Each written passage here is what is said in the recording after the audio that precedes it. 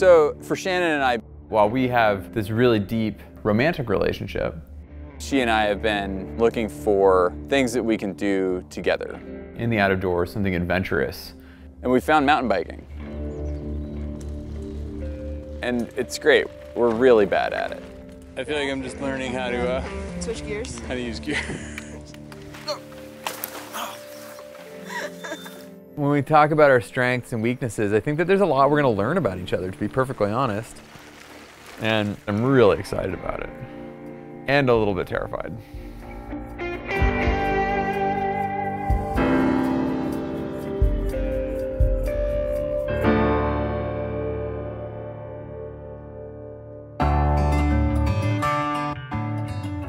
When Shannon and I first met, she was playing Ultimate Frisbee for Seattle Riot.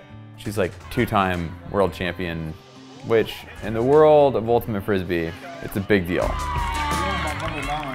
So, Graham is a professional alpine climber. He really spends a lot of time climbing, running hills. He's definitely an endurance athlete, which is the opposite of my background, which makes it kind of hard to play well together in those sports.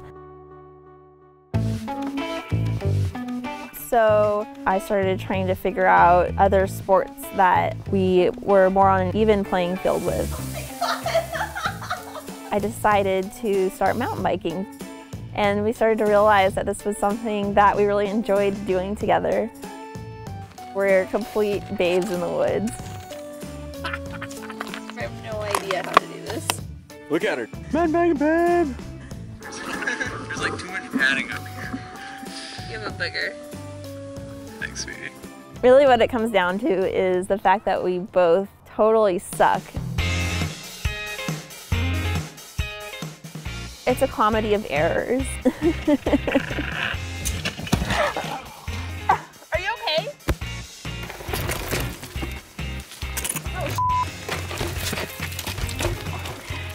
Bend is very much a biking town, so it was pretty embarrassing to be such beginners. Do I have my glasses on right in my helmet? Yeah. Do I look like a biker? You look great. Yeah, Graham! Woo! Yeah!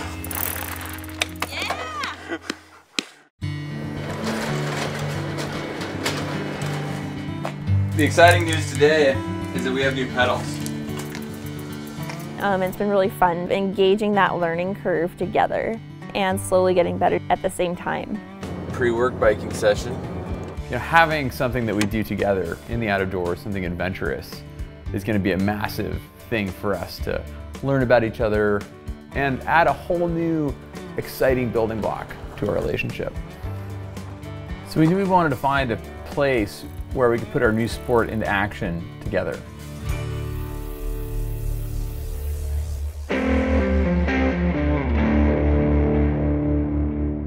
Last summer, Graham and I drove through the Owyhee Canyonlands and we were totally blown away with the beauty and remoteness of the region. Soaring cliffs, big rivers. There's a majesty out here. It's truly wilderness and it's truly beautiful. So we started planning and pulled together this trip to go take bikes out there, put a bunch of stuff on them, and go, go explore. We really wanted the adventure aspect to our first bikepacking trip. Started zooming in on Google Earth and really trying to find a route that made sense. Animal trails or local roads. So that's how we found our route. And it's gonna take us, we think, about five to seven days.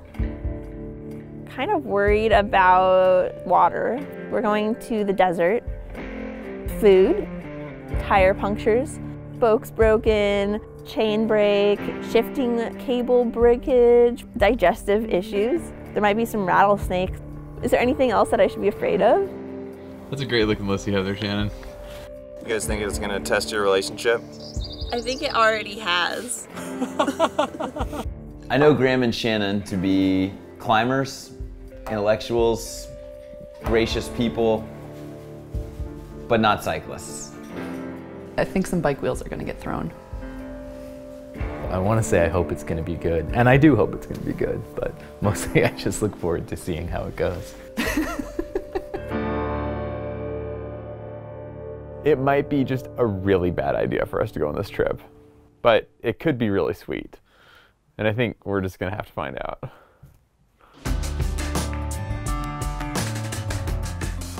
The reason I'm most excited to go, Shannon, is I think that there's a lot we're gonna learn about each other.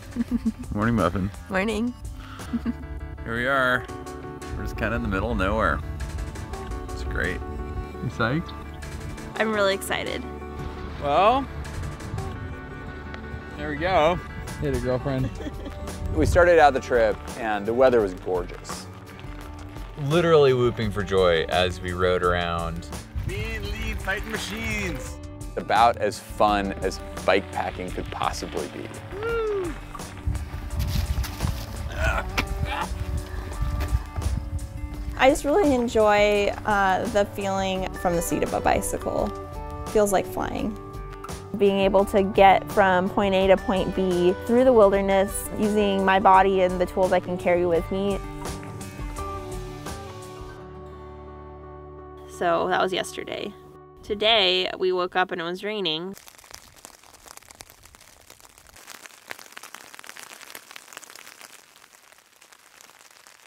We're both from the Pacific Northwest. You can deal with some rain. Let's get out there and get going. Well, time to go get involved. Wipe this off. There's not a shred of blue in the sky. Graham thought he needed to overcompensate for that, so he wore all blue today. See how the riding goes today.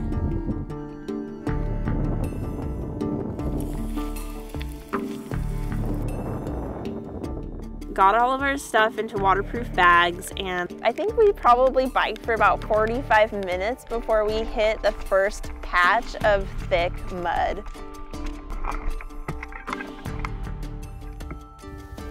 It just gets worse. The bikes are just totally caked in mud. which made for some really slow biking.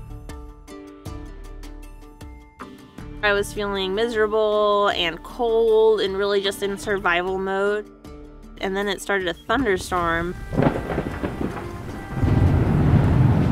So that weather over there is coming at us and it feels like crap. Not something that you want to run into moving slowly along a ridge line carrying a giant piece of metal. It's totally heinous. I think my chain's off. Eventually, we just dragged the bikes down into this canyon. And we ended up finding a cave that was big enough to actually pitch our tent in. I'm really glad that Graham's survival skills uh, kicked into action. We were able to set up the tent, get some of our stuff dried out, just kind of recoup. We've zipped our sleeping bags together. It's a good sign that we're getting along well.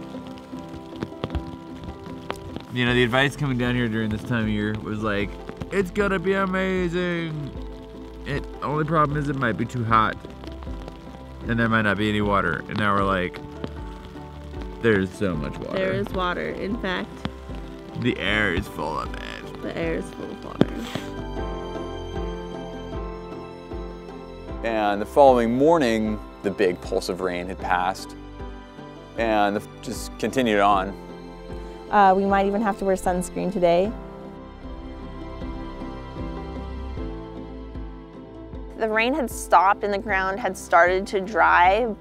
And it just kind of washed away all the stuff we had been dealing with. Dude, uh, I don't know. We might actually kind of be having fun right now. We're pumped.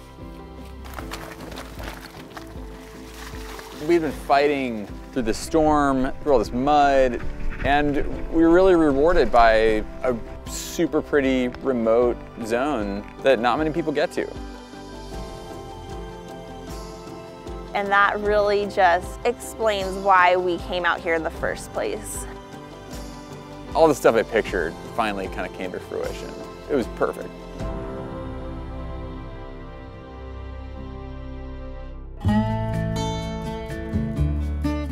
We've only got a couple more days, and now we're right in the thick of it, deep in the gorges of the Owyhee, and it's stunning.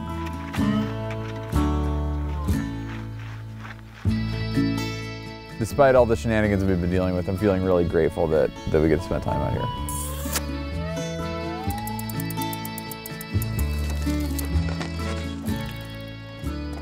Cruising along, working hard on the bike, seeing gorgeous vistas,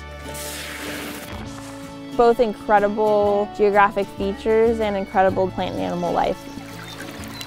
just us with the bird song, the babbling brooks. Pretty special. Makes me happy. I mean, this is really the reason that we came.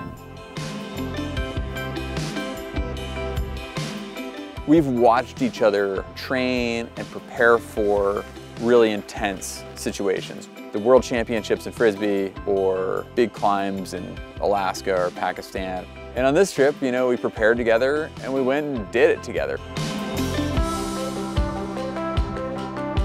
We definitely learned a lot more about each other on this trip and how we work best together, learning how to form a better relationship.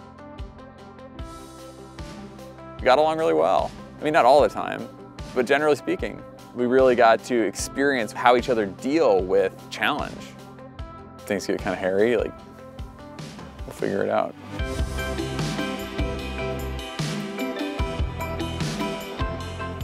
We did it, and it felt good. It did feel good. Thanks to you, Buttercup. Boom. Yeah.